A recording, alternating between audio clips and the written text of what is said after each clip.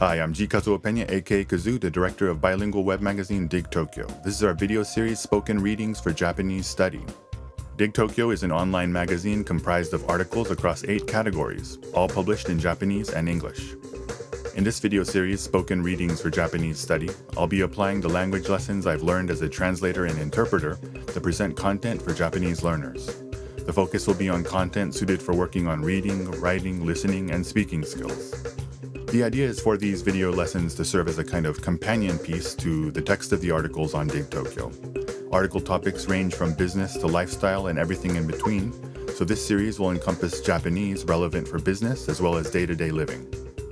And these videos are intended to be viewed and repeated multiple times to reinforce the lessons and to aid you on your quest to learn Japanese, whatever the purpose.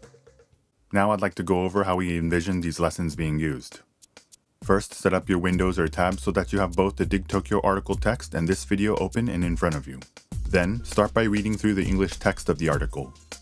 Next, read through the Japanese text of the article.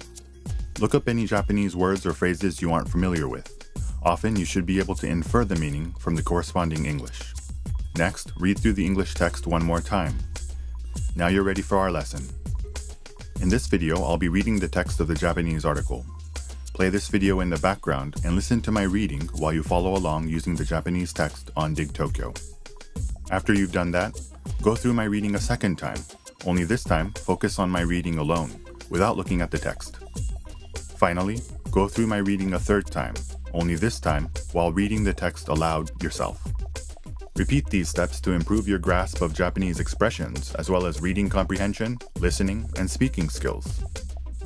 We've also put time codes in the description below, so that for future viewings, you can click the time code next to article reading to skip ahead. In this video, I'll be reading the Japanese text of Books and Magazines 9. 20歳までに読んでおくべき日本に関する名著。1. 本織宣長と小林秀夫 Our columnist Kalikarpa wrote about Motori Norinaga and Kobayashi Hideo, two key figures in Japanese history who wrote about the Japanese identity. Okay, here we go. 1. プロローグ外国人による日本論、日本人論のルーツは、おそらく織田信長、豊臣秀吉が活躍した安土桃山時代の日本の状況を欧州からやってきたキリスト教、カソリックの宣教師が母国へ報告したものと言えるでしょう。星印。安土桃山時代とは戦国時代の終わり、日本が天下統一に導かれるまでの約30年間のことです。戦国大名の織田信長が政権を確立した1573年に始まり、豊臣秀吉が政権を確立し、1598年に死去した後、1603年に江戸幕府が創設されるまでの期間を指します。織田信長の居城であった安土城、琵琶湖東岸、現在の滋賀県と、豊臣秀吉の居城であった伏見城があった桃山丘陵地域、京都から歴史学者からそう呼ばれるようになりました。星印。織田信長とは戦国時代において天下、現在の沖縄県と北海道を除く日本全土を統一に導く上で中心的な役割を果たした三人の戦国大名、三英傑、織田信長、豊臣秀吉、徳川家康の一人です。自身に敵対する者は平然と殺害するなど、残虐で非道な行為で悪名高い一方で、城郭建築に革命をもたらしたり、茶の湯を武士に広めるなど、文化に造形が深いことでも知られています。1582年に京都本能寺に投留していたところ、重臣の明智光秀率いる軍政に襲撃され、死骸に追い込まれました。星印。豊臣秀吉とは戦国時代において天下を統一に導いた三英傑の一人です。仮想民の家に生まれたものの、織田信長の家臣として頭角を表し、信長の死後、後継の地位を得て天下統一を果たします。僧侶や農民など武士以外の身分の人には武器の所有を禁止した刀狩りなど、国内を統治するにあたって様々な発令を行い、一方で茶道、農学など文化の発展にも大きく貢献したとされています。2、国学と元織宣長。一方、日本人による日本論、日本人論としては、江戸時代18世紀後半の国学者によるものが注目されます。中でも、物の哀れの概念を提唱した元織宣長による古事記を研究した古事記伝と、源氏物語を研究した源氏物語玉の大串は21世紀の現在の観点からでも、国学者たちによる日本論、日本人論は大いに参考になるものです。国学の考え方は、幕末の尊王攘夷思想や、明治維新後の国粋主義、広告史観にも強い影響を与えており、明治以降の日本のあり方を決めた思想であることは特筆すべきことです。星印。国学とは江戸時代中期に勃興した学問の一つです。それまで重んじられていた儒教や仏教の古典や思想の研究、漢学にこうして、日本の古典や、日本の古典や神道など、それらの影響を受ける前の日本独自の文化や思想を研究する必要性を主張していました。元織宣長をはじめ、これらの学者の思想は、江戸時代後期の尊王攘夷思想やその後の国粋主義や広告史観に強い影響を与えます。星印。元織宣長とは、江戸時代の国学を代表する学者です。22歳に医師を志すために京都に移り、日本固有の古典学や京都の王朝文化に惹かれるようになっていきます。地元に戻って医師として働きながら日本の古典の研究を進めていきます。その中で、物の哀れをはじめ、大和民族、現在の沖縄や北海道を含まない固有の精神や文化を明らかにしています。固有の精神や文化を明らかにしていきます。星印。物の哀れとは、元織宣長が提唱した概念で、自然への感受性や無常感的な哀愁を指します。平安時代の日本の古典の儒教や仏教の観点から解釈されていた江戸時代において、元織は源氏物語などの中に見られる物の哀れの情緒を普遍的な日本精神だと提唱しました。その後の日本文化、日本人における美意識や価値観に大きく影響します。現代においてこの概念を最も象徴する自然現象といえば、美しいがすぐ散ってしまう桜でしょう。古事記。古事記とは日本の最も古い歴史書です。712年に大和朝廷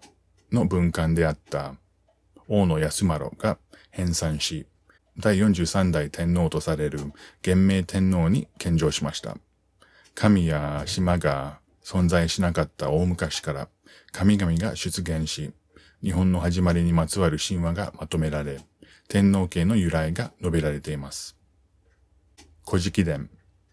古事記伝とは元織宣長による古事記全44巻の注釈書です。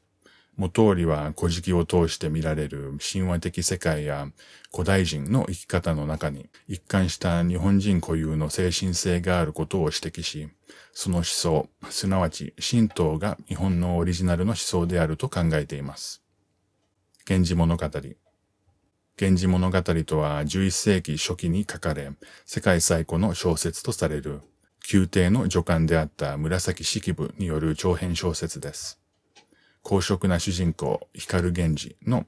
光栄と没落を通して、平安時代の貴族社会の生活や価値観が描かれています。源氏物語、玉の大串。元織宣長による源氏物語の注釈書です。元織は儒教や仏教の教会の観点から、源氏物語のテーマが善を進め、悪を懲らしめることであるとする当時主流であった解釈を否定します。その代わりに物語を通して一貫して見られる物の哀れの概念を提唱しました。星印。幕末とは江戸幕府が政権を握っていた江戸時代の末期を指す言葉です。主に大将マシューペリーが率いる黒船の来航によって鎖国が終わった1853年から徳川幕府が倒れ、明治維新によって天皇を中心とする新政権が樹立された1868年頃までの期間を指します。星印。尊王上位、あるいは尊王上位とは、総学、中国宋代の学者が唱えた真珠居の総称に由来する思想で、君主。日本の場合は天皇を尊び、侵入しようとする外敵。日本の場合は欧米列強を撃退しようとする思想です。江戸時代後半の国学などに影響を受け、幕末において江戸幕府を倒し、天皇を中心とする新政権の成立を目指した運動の政治スローガンとして用いられました。星印。国粋主義とは西洋化に盲信する明治政府を憂い、日本本来の文化や伝統、生活様式を強調し、それを守ろうとする姿勢を指します。もともとは西洋化自体に反対するのではなく、主体的に日本の文明を発達させる目的に西洋文化を選択的に受容しようという考えに基づいていました。しかし、大正時代や昭和時代になるにつれ、その思想は日本の文化や伝統が他国よりも優れているという考え方に変遷し、やがて植民地主義や軍国主義、排外主義として猛威を振るい、国際紛争や第二次世界大戦へと結びつきます。星印。広告士官とは日本の歴史を天皇家中心に形成され、展開してきたと捉える歴史観のことです。古事記などの古典歴史書に記されている神話を歴史的事実とし、20世紀前半の日本における軍国主義の教育を支えた思想でもあります。日本の始まりから絶えず一つの系統を続く、万世一系、天皇家による国家統治、そしてそれに基づいて発展してきた日本歴史、日本文化の優越性を強調し、帝国主義を支えるイデオロギーだったとされます。小林秀夫と近代の彫刻。また、元織宣長や、後に軍国主義や第二次世界大戦へとつながるこれらの思想を考える上で、忘れてはならない存在は日本の文芸評論家小林秀夫でしょう。戦後、日本の多くの左翼思想家や知識人は戦争を間違いだったとし、その責任はすべて日本側にあったと反省します。しかし、小林はその姿勢は反省という名のもとに過去を否定しているのに過ぎず、欺瞞に満ちていると指摘します。今の日本人へと結びつく歴史や文化を理解し、受け入れることこそが本当の反省だと示唆します。そういう意味では小林の晩年の集大成といえる元織宣長は小林自身の精神繊維の書だったのではないでしょうか。星印。小林秀夫とは日本の文芸評論家でした。東京帝国大学でフランス文学を勉強し、世界文学、志賀直哉をはじめとする近代日本の文学、日本の古典に影響を受けます。近代日本における文芸評論の確立した人であります。一方、晩年は保守文化人の代表者として知られています。エッセイ集考えるヒントは人気を博し、大学入学受験においてもたびたび採用されました。考えるヒント。小林が良心や批評、神仏論など幅広いテーマについて切り込んでいるエッセイ集です。特に注目すべきなのは批評に関する小林の言葉ではないでしょうか。批評とは人を褒める特殊な技術だと言えそうだ。人をけなすのは批評家の持つ一技術ですらなく、批評精神に全く反する精神的態度であると言えそうだ。と述べています。人は文芸作品をはじめ物事に対して好きか嫌いかにとらわれている限り、それは考えるとは違うということです。人間が考えるよりググるようになったり、SNS などの普及によって人の作品の荒探しに明け暮れる人々が多い現在、考えるヒントは必読の書なのではないでしょうか。元織宣長。小林晩年の代表作であるとともに、集大成とも言える作品です。元織宣長の考え方を浮き彫りにし、日本の古典を分析した彼の思想がいかに明治維新やその後の日本に影響しているかを解説しています。本作は元織宣長を理解する上で重要な一冊であるだけでなく、日本人のアイデンティティを再発見する上で重要な一冊です。近代の彫刻。近代の彫刻とは、1941年12月の真珠湾攻撃の商法に沸いていた中、1942年に文芸誌文学会が企画したシンポジウムです。小林秀夫を含める13名のインテリが明治時代以降の日本の近代化に伴う思想的問題をテーマに2日間にわたって座談会が行われました。その後、文学界には特集記事と論文が掲載され、それをまとめたのが本書です。近代とはすなわち西洋文化または西洋的思想のことです。戦後の自覚史観の視点から見れば、この座談会で繰り広げられた議論は、太平洋戦争の合理化を目的としていたという捉え方になるでしょう。しかし、小林をはじめ、この13人は、個人主義や利己主義を肯定する西洋的な近代に疑問を投げかけ、より日本らしい、ひいてはアジアらしい近代のあり方を模索しようとします。星印。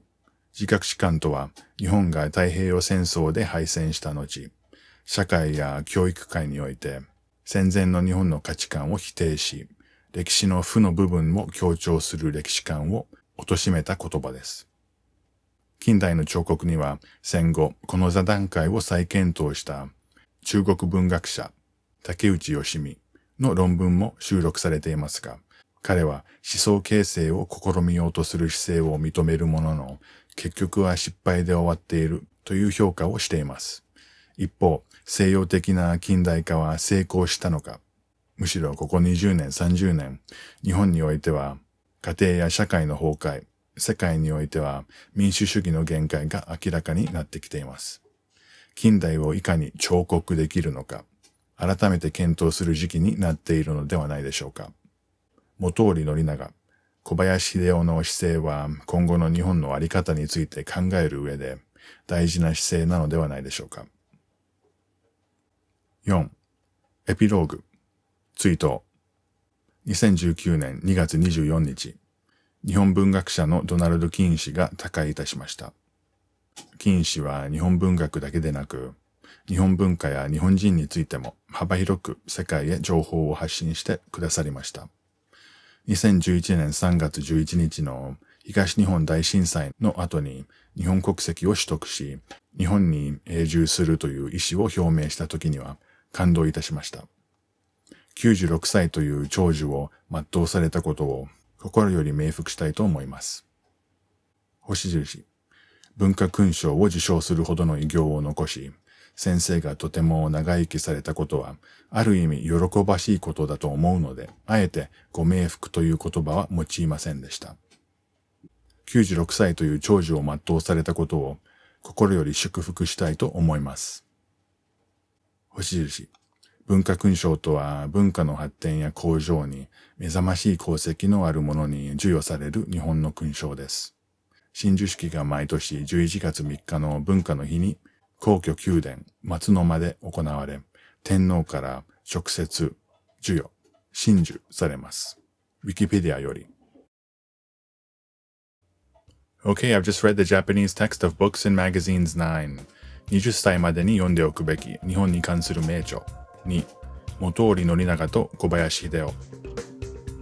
If you feel this content has assisted you on your quest to learn Japanese, please subscribe to our YouTube channel. Also, check out and follow our Facebook, Twitter, and Instagram accounts from the icons at the bottom of the article I've read today. If you have any feedback or requests, please leave them in the comments below or get in touch with us via social media.